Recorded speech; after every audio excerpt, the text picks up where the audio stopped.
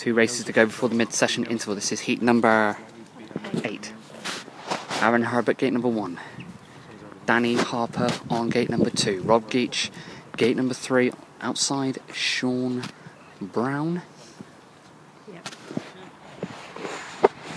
So the runners are being settled down here by referee Ian Yard, who's actually Exeter's minibus driver.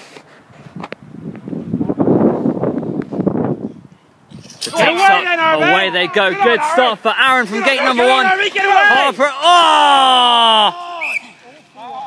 Referee blows the whistle, calls all four.